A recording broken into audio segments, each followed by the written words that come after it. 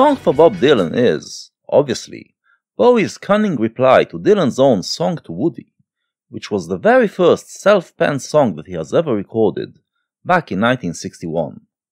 In it, Dylan is addressing Woody Guthrie, the old folk troubadour who dedicated his life to going on the road to lift the spirits of the downtrodden and oppressed everywhere in America and encourage them to group together and stand up for their rights.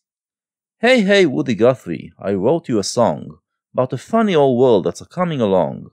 Seems sick and it's hungry, it's tired and it's torn. It looks like it's a dying and it's hardly been born.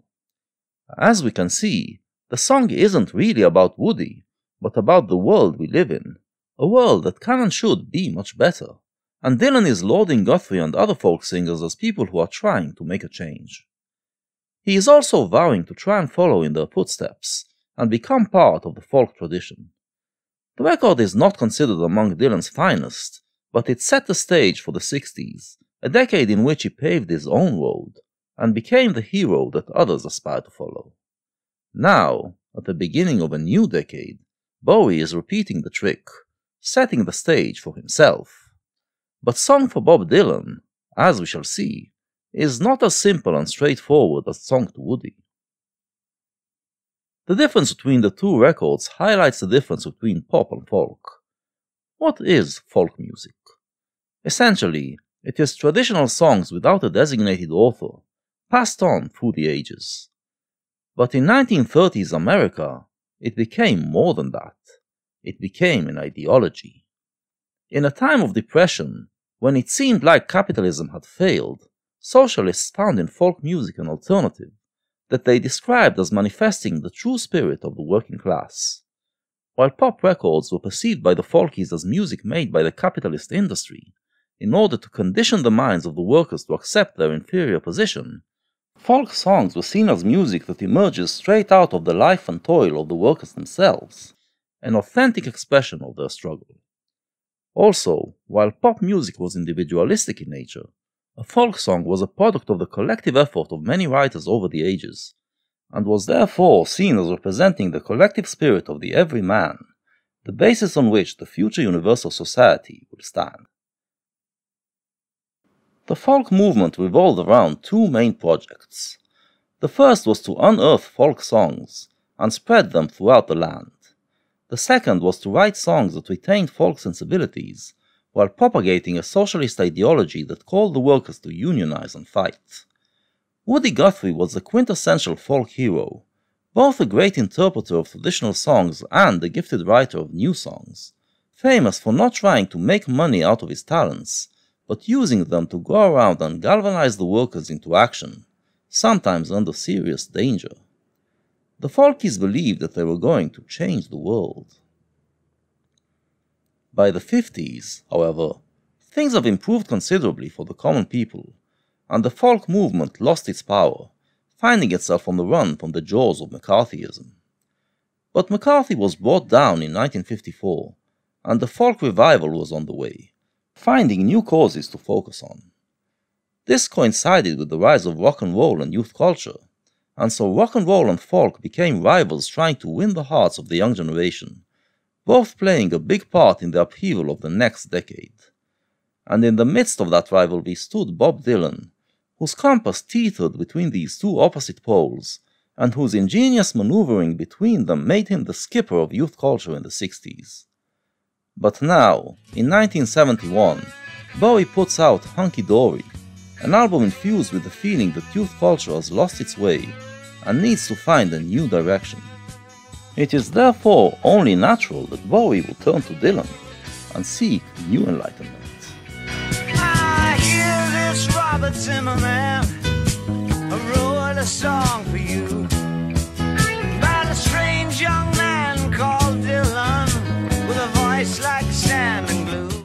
It was in 1960 that Robert Zimmerman, a fresh faced kid from Minneapolis, arrived at the Big Apple and became part of the folk music scene of Greenwich Village.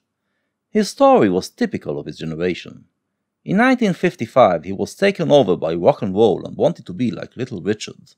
But by the end of the decade, when rock and roll was tamed by the industry and saturated with maudlin teen idols, he traded his electric guitar for an acoustic one and became part of the folk boom of the early 60s. But the fact that he changed his name to Bob Dylan after the poet Dylan Thomas showed that he still had a pop sensibility and a knack for poetry more abstract than that favored by the folkies. In 1961 came his eponymous first album, in which only Song to Woody is an original composition, and which stands out for the unusual delivery, with a voice that did not sound like anything that was previously considered a singing voice. Some likened it to a dog with his leg caught in barbed wire, but for others it was a definitive folk voice, the personification of the folk credo that every man should be allowed to sing. As folk was becoming so popular that it became too close to pop for its hardcore fans, Dylan's raw vocals symbolized their unwillingness to compromise and be nice. The singer here, celebrating Dylan's sand and glue voice, obviously belonged to that faction. Some words truthful vengeance, they could pin us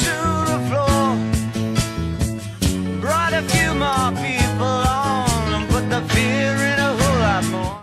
In 1963, Dylan emerged as the most important songwriter of the folk revival. The two albums he released that year, the freewheeling and the times they are changing, combined reworking of old folk themes with an up to date commentary on the state of America, and sharpened the folk message. Dylan posits himself as someone who walks the land and therefore knows what the people really want, which is to live in peace and harmony, and points fingers at those who deny them of it the plutocrats, the warmongers, the racists, and those who pretend to speak in the name of God. Most powerful are his apocalyptic visions, in which he tells us what will happen if those people continue to run our lives. Basically, he is just reiterating the old slogans of the folk movement, albeit in a more seditious manner, but he does add something new. He designates the youth as representing the new harmonic world, which will replace the bad world the adults have created. And this message thrilled a big part of the young generation, among them, as we can hear, the singer of this record. Gave your heart to every room, at least a picture on the wall. And you sat behind a million pair of eyes and told them how they saw. In the second verse, the irony begins to seep through. We realize that Bowie is once again assuming a character, this time of a Dylan fan who is not exactly a credit to his idol. Dylan's words were supposed to set us free, but here we find that this fan's reaction to him is nothing but idolatry, and he basically expects Dylan to tell him how to think. Dylan preached equality, but this fan understands equality as a state where everyone thinks the same, according to what one person tells them. The collective spirit of folk is here depicted as herd mentality. Dylan must have felt something similar because his next album, Another Side of Bob Dylan from 1964, moved from the polemics of the previous two albums into a more private space, dealing mainly with troubled relationships. Many folkies wrote it off as a phase he was going through, but a closer listening revealed that he was going through a real transformation. The key track is My Back Pages, in which he mocks his previous stance describing it as just another dogmatic and prejudiced ideology like the ones he was condemning, and attacks his former self as just another self righteous preacher who pretended to know the one and only truth. But every verse ends with, Ah, but I was so much older then, I'm younger than that now, breaking away from the old and stale folk ideology and creating himself anew. Once you get that, some of the other tracks reveal themselves as more than they seem and the troubled man woman relationships turn out to be allegories for his relationship with his fans. I ain't looking to block you up, shock or knock or lock you up, analyze you, categorize you, finalize you, or advertise you, he sings in the opening track, rejecting the mantle of identity definer for the young generation. All I really want to do is, baby, be friends with you. Obviously, Dylan encountered many fans who treated him just like the person in Bowie's record, and he wanted them to start thinking for themselves instead of following him blindly. But the closing track manifests his disillusionment with them. Go away from my window, leave at your own chosen speed. I'm not the one you want, babe. I'm not the one you need, he intones. You say you're looking for someone who's never weak but always strong, to protect you and defend you, whether you are right or wrong. Someone to open each and every door. But it ain't me, babe. No, no, no, it ain't me, babe. It ain't me you're looking for, babe. This switch came with a change in his writing style, which became a lot more abstract, drawing from beatnik poetry, refusing to spoon feed the listener. But Dylan needed more than that. He needed a new sound to fit his assertion that he was younger than that now. He didn't have to look far. His no, no, no to his fans coincided with his infatuation with a band that said, yeah, yeah, yeah, and was unavoidable during that year, the year of the British invasion. Most folk fans, of course, regarded the Beatles as abhorrent, delegates of the fake and superficial world of pop, but Dylan heard in them the revival of the rebellious and ecstatic power of early rock and roll. His next album, Bringing It All Back Home from 1965, blends his old acoustic folk balladeer sound with the electric mayhem of rock and roll, and with his new poetic surrealism, to create a new kind of musical experience. The final words on the album dramatize his break from his former self and his goodbye to his old fans. Leave your stepping stones behind, something calls for you. Forget the dead you've left, they will not follow you. The vagabond who's rapping at your door is standing in the clothes that you once wore. Strike another match, go start anew. And it's all over now, baby blue. And this new direction did indeed alienate a lot of his old fans, who kept on standing in the clothes that he once wore, and accused him of selling out. Didn't matter, in their place came hordes of new fans. That other match that he struck started a new fire, a fusion between folk and rock and roll that was to change the face of popular music. Until then, rock and roll sneered at the politics of folk, and was focused on the politics of having fun. But Dylan's new sound enabled the folk and rock and roll kids to mingle and form a new consciousness, which saw pop music as the vehicle to change the world, and turned it into the just place that folk envisioned, and the fun place that rock and roll envisioned. And, once again, they regarded Dylan as their leader. But Dylan's next move took him away from this direction. The single Like a Rolling Stone broke the mold of a pop record, turning it into art that doesn't have to obey external rules, but is driven by its own inner force. The lyrics are a nasty gloat at a prim high society chick who lost all her fortune, and now has to learn to live on the street, with the people that she once patronized. But as his voice soars gleefully into the chorus, you realize that she is actually better off, now that she's free of all the former conventions that bound her. The record becomes Dylan's own liberation, his final break from the collective consciousness of folk, an assertion of his individual freedom to go wherever he wants, and keep changing by his own rules and remain a rolling stone that gathers no moss. From here on, his music would become elastic, and his lyrics more undecipherable which, of course, didn't go down well with some of the fans. And we lost your train of thought. Your paintings are all your own. While troubles are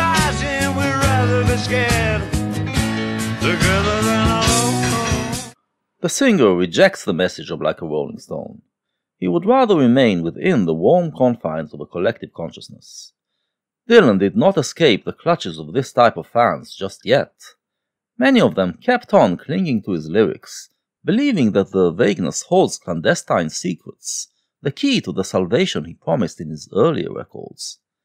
This was the mentality that pervaded the counterculture of the late 60s, the belief that throwing the mind into psychedelic loops would set it free to see the truth, and that this truth should then be imparted to the rest of the world.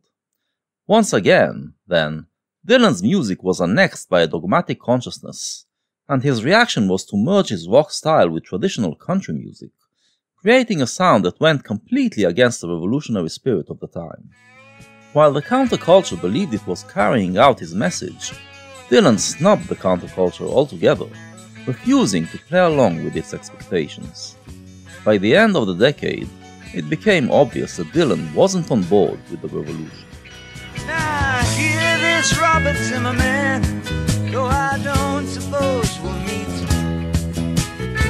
Ask your good friend Dylan if it is a while down the old street.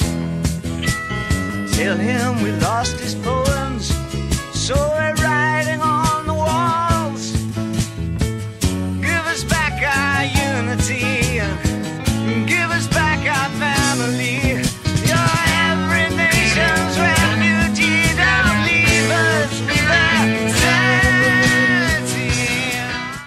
Song for Bob Dylan, we now realize, is another one of Bowie's critical attacks on the counterculture. As we've seen in previous records, he does share some of the counterculture's sentiments. When the singer here says, Don't leave us with their sanity, that is, with the kind of boring normality that society defines as sane, we know he speaks out of Bowie's mouth. But his expectation from Dylan to show us the way is obviously criticized. This fan behaves like he knows who Dylan really is, which is probably why he addresses him by his real name acting like they're old buddies, and even tries to imitate his style, and he urges him to return to himself. He is a slave to a dogmatic revolutionary ideology, and has the goal to demand of Dylan to pay his dues to it as well. The implication is that Bowie, unlike this fan, would rather learn from Dylan how to not be tied to any position. Ah,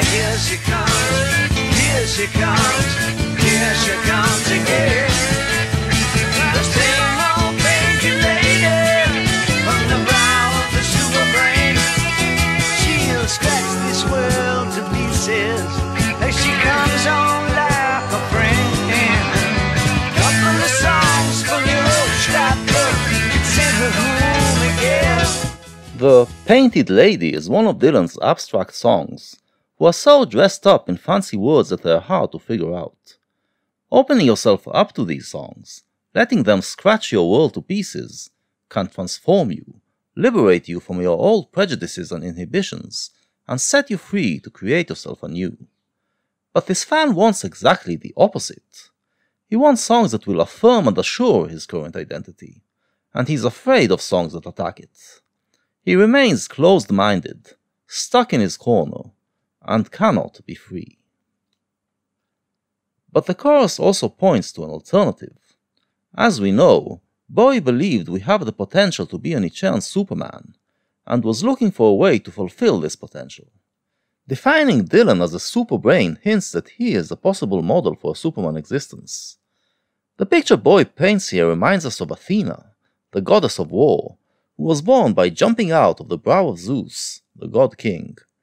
If he wants to go the way of the Superman, Bowie will have to write songs that declare war on our world and scratch it to pieces, forcing us to redefine ourselves, and through writing these songs, to keep on changing and be like a rolling stone. This is what Bowie took from Dylan, and this is what he was about to offer the world.